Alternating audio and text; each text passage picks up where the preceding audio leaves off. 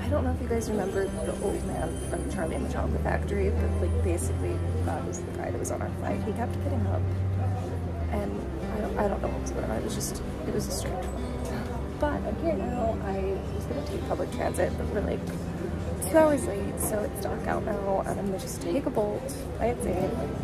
How cute is this? They sell flowers here for people that are picking up like people. I just, I think it's the cutest thing. I've never seen this in airport ever, it just made my night to see. So I've just fun fact, they sell flower bouquets here. All right, my bolt's here. Let's go.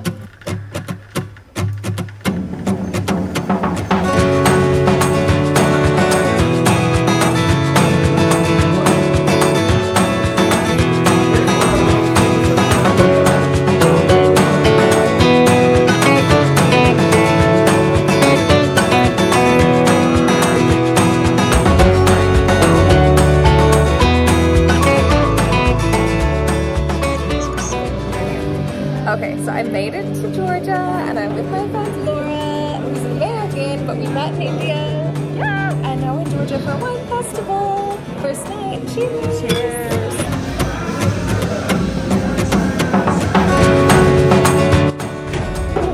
This is the most random elevator ever.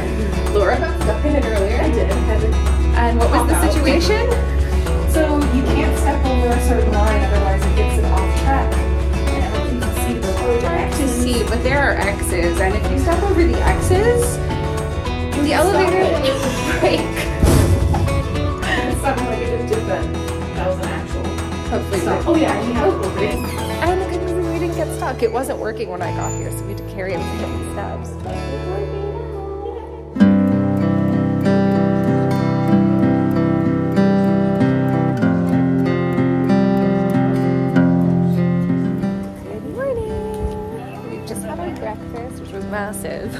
And we're heading on a back street walking that's free from Fabrika Hostel.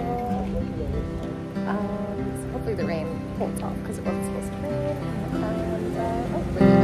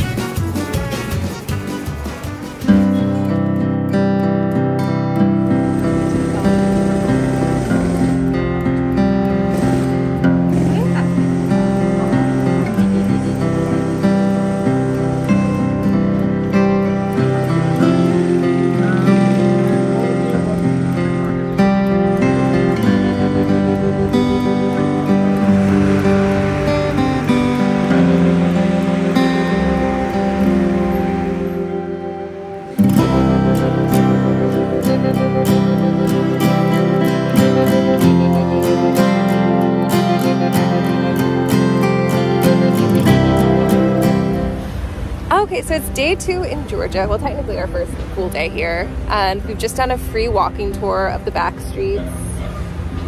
That was what it was called, right? The back, street tour. yep. Yeah. free walking tour. It was fabulous.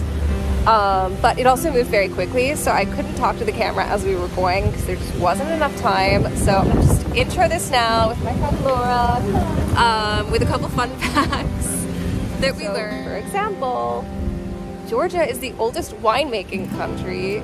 They've been making wine for over 8,000 years, which is part of the reason why we're so excited to be here for the wine harvest, which you're to see later this week.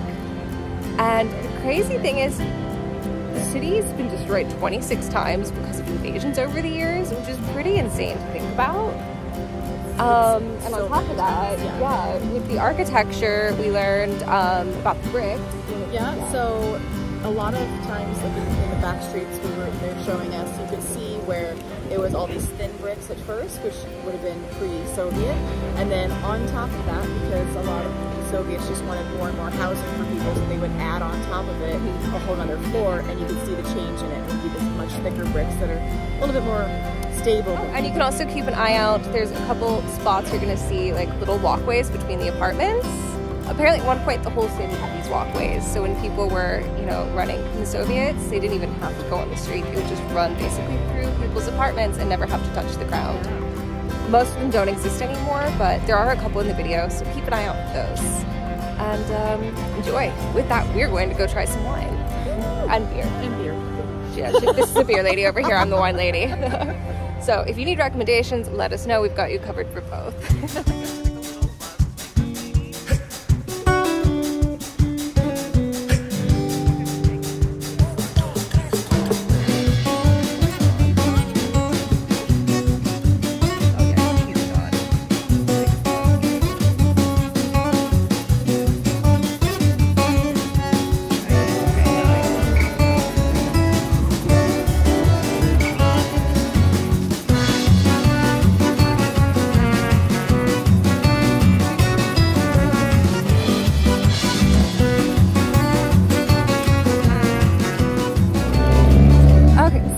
dinner at the King and the Bird. It was amazing. Like all of the food here has been so good. We had a really cool, um, what was it? It was like a plum and mushroom like soup. It was so good.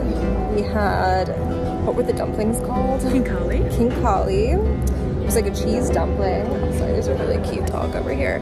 Um, and some really like amazing, like it was like a walnut tomato cucumber salad. So good. Um, so it's been like the perfect dinner and now we're going to meet some new friends for drinks. Um, we just got out of the cab and like, look how cool this is behind me. There's like a little light show going on. Also cute dog. Um, that's it for tonight. We're gonna go grab some drinks and then get up early in the morning and do another little walking tour.